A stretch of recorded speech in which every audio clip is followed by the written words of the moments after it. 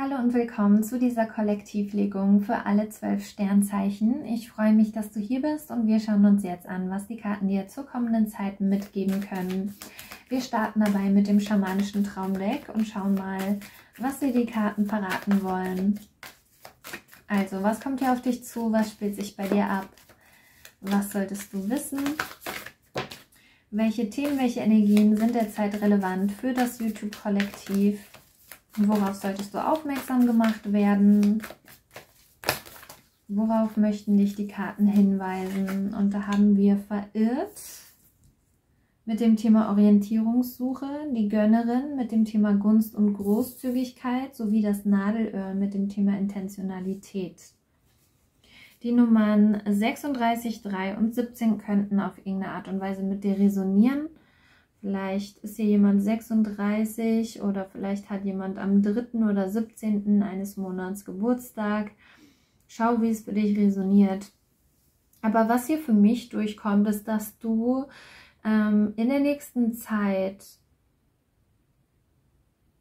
ähm, herausfinden könntest, was dein Weg, deine Absicht ist, dein Ziel ist, deine Aufgabe ist weil mit dieser Verirrt-Karte sehen wir hier, dass es noch irgendetwas gibt, wo du vielleicht ähm, bisher auf Orientierungssuche warst und nicht ganz wusstest, welchen Weg soll ich einschlagen. Mit dem Nadelöhr und dem Thema Intentionalität scheint sich das aber zu verändern, weil wir hier jetzt ein klares Ziel haben. Das heißt, ich glaube, dass du eine Art Absicht formst, dir ein Ziel steckst,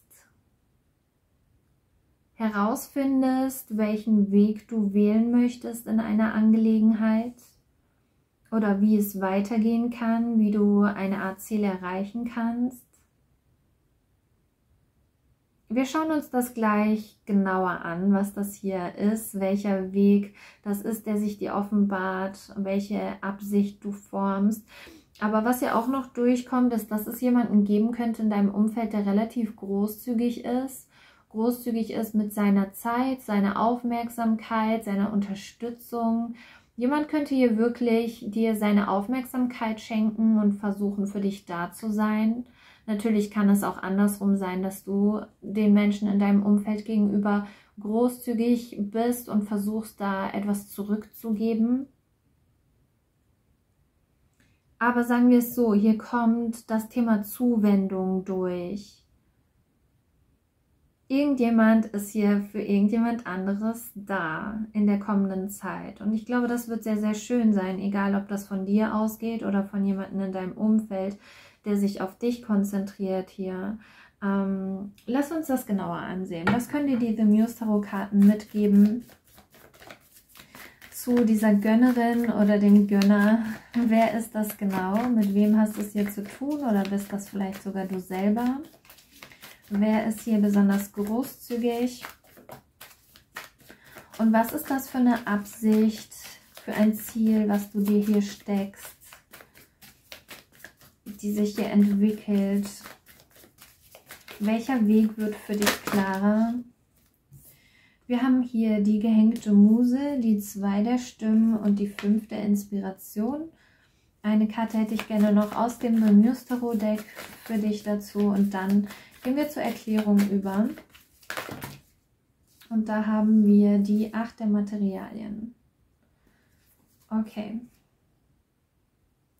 Wir schauen uns die Karten der Reihe nach an und starten mit der Erklärung der gehängten Muse.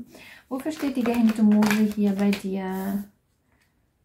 Was solltest du zur gehängten Muse mit dem König der Schwerter und dem Hierophant wissen? Und bitte beachte wie immer, dass es sich hierbei um eine allgemeine Legung handelt, die nicht zu 100% mit jedem Einzelnen resonieren kann und wird. Nimm nur die Nachrichten für dich mit, die sich richtig anfühlen und mit dir in Resonanz gehen und lass den Rest einfach für andere übrig. Hör immer auf deine eigene Intuition, die wird dir sagen, was hier für dich passen könnte und was nicht. Aber das sind schöne Karten. Wir sehen hier Luftenergie, Wassermann, Waage, Zwillinge, besonders Sternzeichen Wassermann kommt hier durch und das Sternzeichen Stier mit dem Hierophant. Kann also sein, dass ähm, da eins deiner Sternzeichen oder dass dein Sternzeichen irgendwo dabei ist. Es kann sein, dass du es mit einem dieser Sternzeichen in deinem Umfeld zu tun hast. Aber ich sehe, dass diese Absicht, die du entwickelst, dieses Ziel, was du dir steckst, hier geformt wird. In der ersten Spalte sehen wir, dass du vielleicht noch irgendwo so ein bisschen festhängst, aber ähm, mit dieser Stagnation der gehängten Muse geht meistens auch ein Perspektivenwechsel einher. Die gehängte Muse kann dadurch, dass sie hier so rumhängt, Dinge aus einer anderen Perspe Perspektive betrachten, als wenn sie aufrecht stehen würde. Ja, diese Kopfüber-Situation, diese verirrte Situation, diese Orientierungssuche, ermöglicht es dir, Dinge aus einem anderen Standpunkt zu betrachten. Okay. Vielleicht kommt es dir so vor, als wäre irgendwo alles kopfüber, als hättest du irgendwo nicht wirklich den Durchblick. Aber das liegt nur daran, dass die Dinge aus einer anderen Perspektive betrachtet werden sollen. Versuch die Tatsache, dass Dinge kopfüber stehen, nicht als etwas Negatives zu sehen, sondern als etwas Positives, weil du hier etwas anders wahrnehmen kannst, als du es sonst tun würdest. Ja, es gibt hier eine Situation, wo du das Gefühl haben könntest der Zeit, dass Dinge so ein bisschen durcheinander sind, dass Dinge chaotisch sind. Aber ich glaube, das sollen sie sein, damit du das erkennen kannst, was du erkennen sollst. Aber um es ins Praktische umzusetzen oder zu übersetzen, will ich dir ein Beispiel mitgeben. Weil angenommen, du ähm, merkst aktuell, dass du irgendeine Art von beruflicher Veränderung brauchst, weil ja, dein alter Arbeitsplatz irgendwelche Veränderungen durchmacht und es da nicht mehr so ist wie früher oder dir fehlt die Leidenschaft, wie auch immer. Jetzt bist du vielleicht in einer Position, wo du dich mit vielen verschiedenen Möglichkeiten beschäftigst und alles so ein bisschen durcheinander ist, du noch nicht wirklich klar siehst, welchen Weg du wählen möchtest. Aber ich glaube, du kannst deinen Weg nur deshalb finden, weil du dich eben mit so vielen verschiedenen Möglichkeiten beschäftigst. Du kannst deine zukünftige berufliche Erfüllung nur deshalb finden, weil du dich mit dem Chaos auseinandersetzt. Okay? Wenn du weiterhin in der geordneten alten Situation an deinem alten Arbeitsplatz bleiben würdest, dann würdest du nicht diesen potenziellen neuen Arbeitgeber sehen. Den kannst du erst sehen, wenn du dich dem großen, weiten Arbeitsmarkt öffnest, okay? Und wie gesagt, das ist jetzt nur ein Beispiel.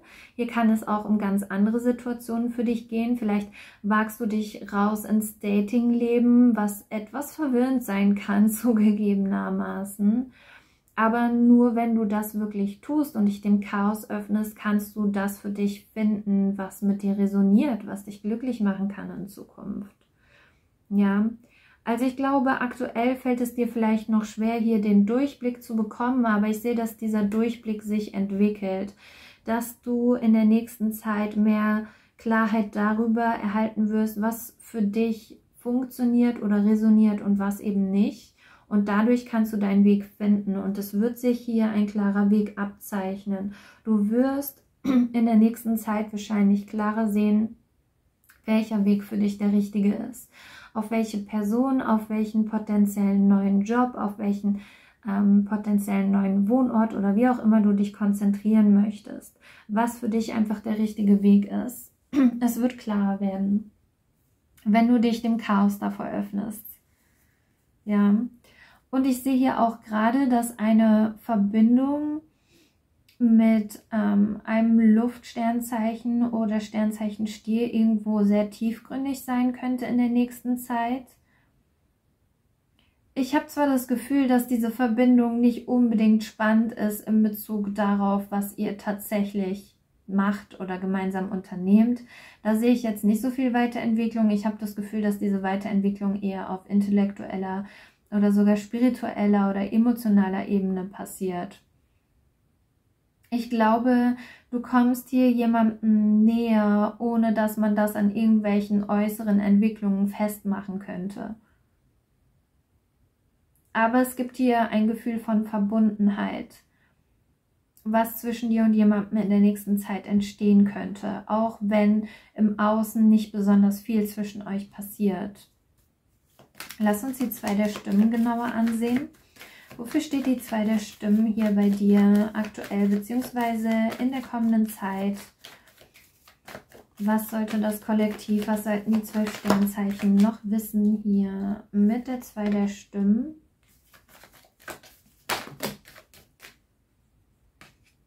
Zu zwei der Stimmen haben wir die drei der Münzen und die fünf der Münzen sowie den Herrscher. Ja, ich sehe, dass es hier eine Angelegenheit gibt, wo du vielleicht mh, mm, unentschlossen bist, aber es wichtig ist, die Initiative zu ergreifen und dich zumindest zu bemühen, hier eine Lösung zu finden oder etwas an der Situation zu verändern. Ich weiß nicht, ob das eben was mit dieser Situation zu tun hat, wo du bald einen Durchblick bekommst oder ob das eine andere separate Angelegenheit ist. Aber ich sehe, dass es hier eine Situation gibt, die vielleicht ein bisschen besser aussehen könnte. Und wo du etwas tun sollst, eine Entscheidung treffen sollst, handeln sollst, irgendwas machen sollst damit diese Situation sich verändern kann. Selbst wenn du noch nicht genau weißt, was, selbst wenn du noch nicht genau weißt, wie, selbst wenn du dir nicht sicher bist, ob das, was du hier machst, sage ich mal, dich weiterbringt. Aber ich glaube, alles ist besser als diese Unentschlossenheit. Alles ist besser als nichts zu tun. Ja, mit dem Herrscher sehen wir hier, dass du Initiative ergreifen sollst, dass du Verantwortung übernehmen sollst für die Situation, wie sie ist. Und wenn du auch erstmal nur handelst, indem du recherchierst, was kann ich in dieser Situation tun, was sind meine Möglichkeiten. Aber irgendwo sollst du ein Problem am Schopf packen und das Ganze in Angriff nehmen. Okay. Lass uns genauer anschauen, was das sein könnte. Das ist mir noch ein bisschen zu vage hier. Für manche könnte es vielleicht um irgendeine Art von finanziellen oder beruflichen Problem gehen. Was ist das hier genau für eine Situation, der du dich stellen sollst? Haben hier den Knaben der Stimmen. Ja, es ist eine Situation, die du vielleicht in der letzten Zeit eher erstmal beobachtet hast, weil du dich nicht bereit genug gefühlt hast, hier tatsächlich etwas zu tun. Aber du sollst aus dem Beobachten rauskommen, glaube ich. Du hast genügend Infos gesammelt. Ja, mit dem Nahen. Sei mutig.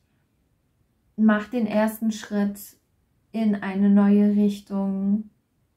Du hast genügend beobachtet Du hast genügend nachgedacht, du hast genügend analysiert. Auch wenn du das Gefühl hast, dir fehlen noch irgendwelche Infos. Ich denke, hier gibt es irgendeine Angelegenheit, wo du den ersten Schritt machen sollst, auch wenn du noch nicht genau weißt, wo der dich hinführt. Ähm, ja, worum geht es hier? Auch wenn du das Gefühl hast, in einer Verbindung wurde irgendetwas in letzter Zeit nicht wirklich angesprochen oder geklärt, es gibt irgendwas, was du klären möchtest. Ich glaube, wenn du das nicht ansprichst, dein Gegenüber wird es vielleicht auch nicht tun. Deshalb, je früher ihr das aus der Welt schaffen könnt, desto besser. Ja.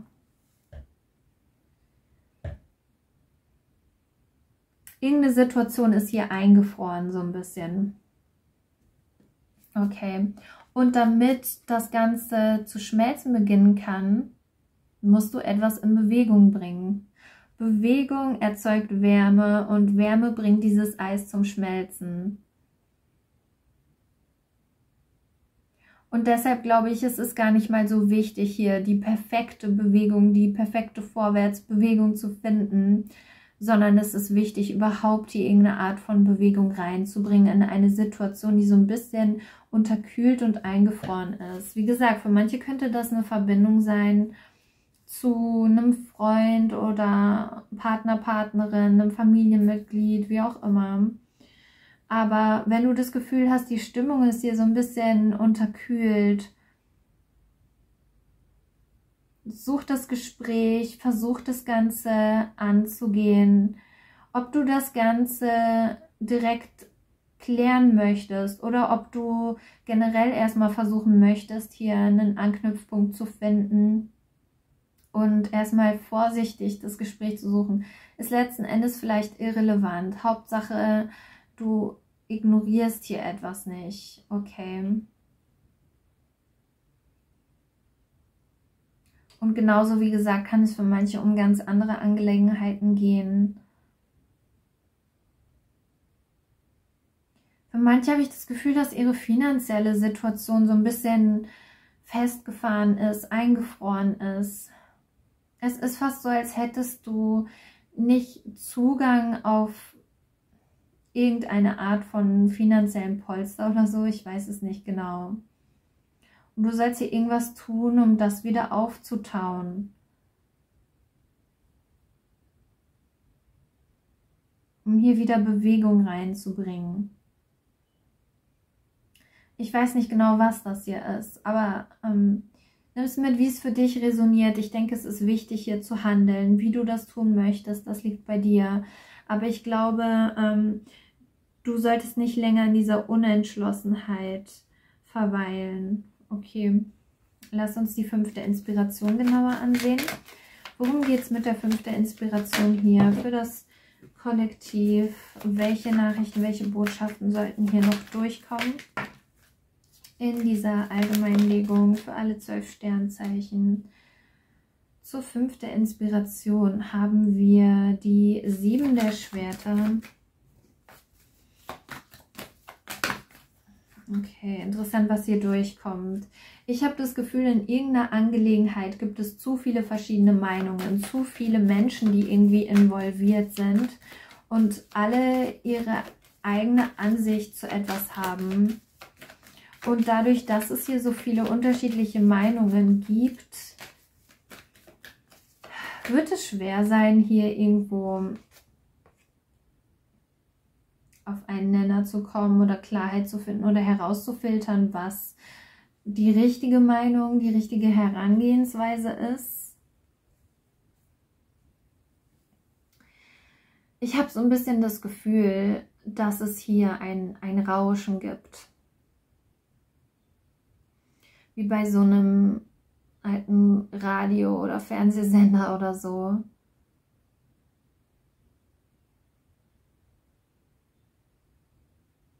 Solange du zwischen den verschiedenen Sendern hin und her switchst, solange du nicht die genaue richtige Frequenz quasi findest, wird das Signal immer unklar und rauschend sein. Hier kommt so ein bisschen durch, dass es eine Situation gibt, wo zu viele Sender anwesend sind, zu viele Personen ihre Meinung äußern und dadurch wird etwas sehr unklar. Ich glaube, es ist wichtig, hier dich auf die Sender, die Personen, die Meinungen zu konzentrieren, die wirklich relevant sind, die du wirklich herausfiltern möchtest. Filtern ist wichtig für dich in der kommenden Zeit. Wenn du einen klaren Weg in einer Angelegenheit finden möchtest hier, wenn du dein, dein Ziel finden möchtest, den Weg finden möchtest, der für dich der richtige ist. Vielleicht solltest du hier irgendwo nach dem Ausschlussverfahren ähm, gehen und erstmal das rausfiltern, was für dich nicht relevant ist. Okay, weil ich habe das Gefühl, dass es hier zum Beispiel Meinungen von Menschen in deinem Umfeld gibt, die im Prinzip nicht wirklich relevant für dich sind.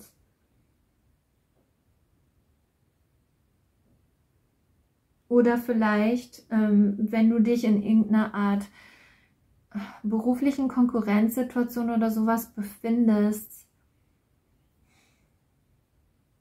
solltest du dich davon nicht aus der Ruhe bringen lassen. Stell dir die Frage, wen möchte ich wirklich erreichen? Konzentriere dich auf ein paar wenige Personen in der kommenden Zeit, die wirklich wichtig für dich sind, die wirklich relevant für dich sind.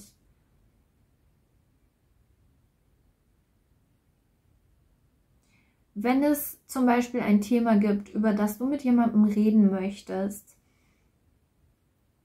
dann stell dir die Frage, mit wem sollte ich darüber reden? Muss ich wirklich mit jedem darüber reden?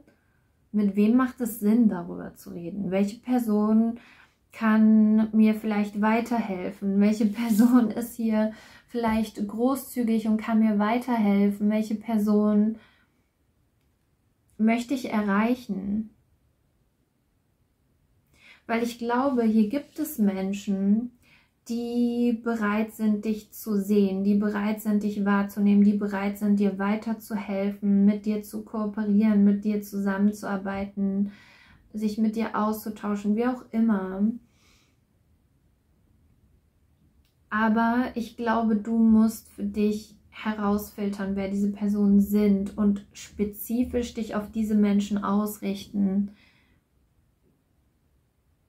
ja, ich bin mir sicher, dass zum Beispiel hm, Familienmitglieder eine Meinung zu deinem beruflichen Weg haben, aber vielleicht sollte deren Meinung aktuell nicht so viel Relevanz haben, sondern vielleicht solltest du eher mit jemandem darüber reden, der zum Beispiel einen ähnlichen Weg beruflich verfolgt wie du und dir wirklich greifbare, nützliche Ratschläge geben kann oder dich unterstützen kann oder wo du weißt, diese Person könnte mich motivieren, anstatt mich von diesem Weg abzuhalten oder sowas in der Richtung.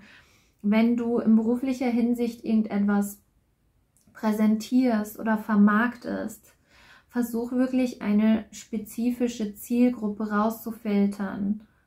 Spezifische Personen oder Unternehmen, auf die du dich ausrichten möchtest. Versuch nicht zu sehr so viele Menschen wie möglich anzusprechen, sondern die Menschen, die dir wichtig sind, die Unternehmen, die dir wichtig sind, die Zielgruppe, die du im Auge hast. So gut und spezifisch wie möglich anzusprechen. Ich glaube, es ist wichtig, hier eine Intention zu haben, eine Absicht zu haben, ein klares Ziel vor Augen zu haben, genau zu definieren, was du wie erreichen möchtest.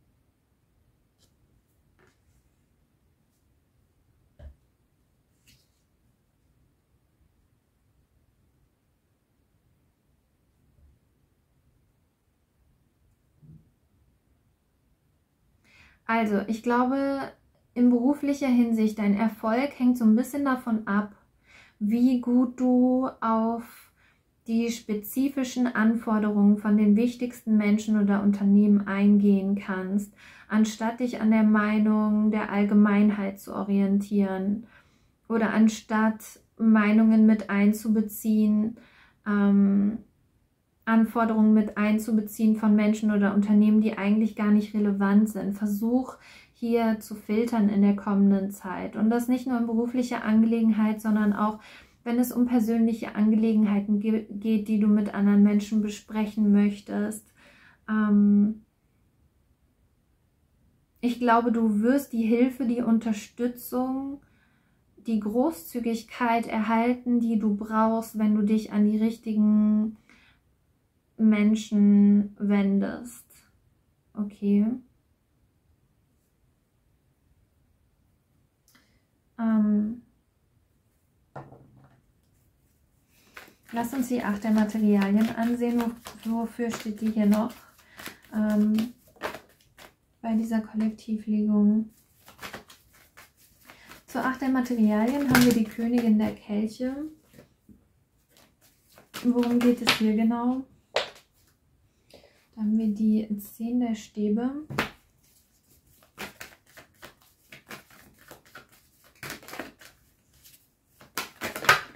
Für manche könnte es aktuell sein, dass äh, Familienangelegenheiten etwas stressig sind. Wenn du dich hier bemühst, könnte das definitiv bald besser aussehen. Deine Beziehung zu manchen Familienmitgliedern könnte sich in der nächsten Zeit verbessern, wenn das etwas ist, worauf du dich fokussieren möchtest, was dir wichtig ist dann kann es da definitiv Fortschritt geben. Ich sehe hier etwas mehr Weichheit, Zärtlichkeit. In einer Situation, die vielleicht in der letzten Zeit etwas hart war oder eine gewisse Härte oder Stärke erfordert hat. Ich glaube, jetzt wird hier etwas mehr Feingefühl, etwas mehr zarte Energie ähm, zugelassen werden. Ich, ich weiß nicht genau, was das hier ist. Ich habe das Gefühl, dass du deine weiche Energie hier in eine Beziehung oder in eine Situation mehr einfließen lassen kannst als vorher.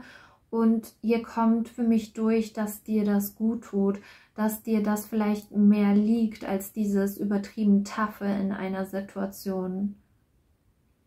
Ich weiß nicht, ob es hier um eine berufliche Angelegenheit geht oder um eine Beziehung, wo du immer das Gefühl hattest, stark sein zu müssen Jetzt kannst du mehr dieses Weiche zulassen.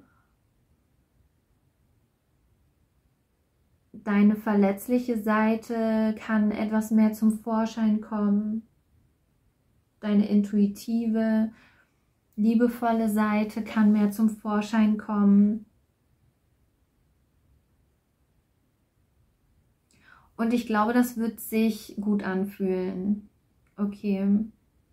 Also ich sehe eine Situation, die vielleicht in Zukunft nicht mehr ganz so stressig sein muss, nicht mehr ganz diese Toughness erfordert, sondern wo du ein bisschen mehr, ja, deine zarte Seite zeigen kannst. Und das sogar auch, ich sag mal, erwünscht ist. Ja, das kann eine Beziehung sein, wo du nicht mehr tough sein musst, sondern dich vielleicht mehr fallen lassen kannst oder deine Liebe, deine Zuneigung mehr zeigen kannst. Deine Bedürfnisse mehr zeigen kannst und anderen Menschen mehr erlauben kannst, auf sie einzugehen. Mehr kreativ sein kannst, fließen kannst, so gesehen. Und für manche kann es ja auch um eine andere Situation gehen, eine berufliche zum Beispiel, wo deine kreative, intuitive Seite mehr gefragt ist.